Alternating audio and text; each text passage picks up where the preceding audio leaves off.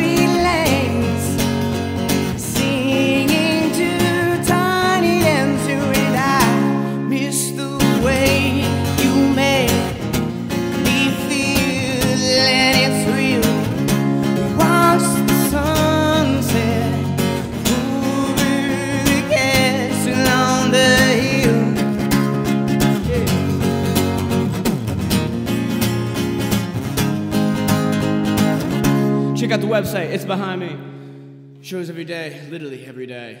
Whew, gotta go.